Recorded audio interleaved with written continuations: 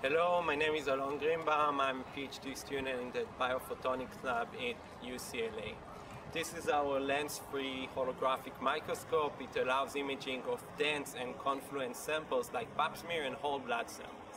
This microscope is compact, cost-effective, and it has a wide field of view. Our microscope is lens-free. It is composed of an illumination source, a CMOS detector, and a Z-stage. We record the shadows of our object. From shadows, we extract an image that resembles an image of a typical microscope.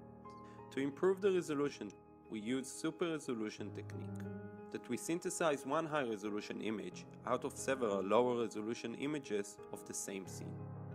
We acquire several images of the same object at different distances. This allows us to reconstruct the image even when the sample is dense.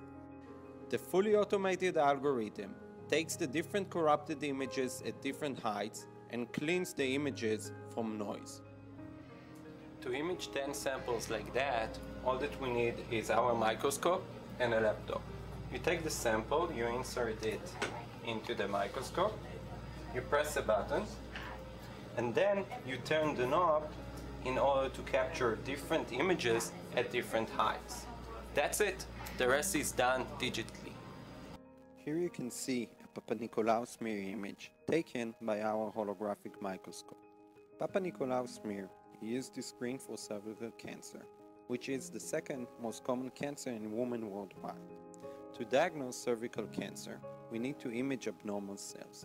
Abnormal cells have large nuclei in comparison to their cytoplasm. In this figure, we can see abnormal cells that were imaged by a regular microscope and by our holographic microscope. This microscope that has high resolution and large field of view, together with automatic detection algorithms, might lead to a cost-effective screening method for cervical cancer in developing countries. For more information, visit us on Facebook or in our lab website.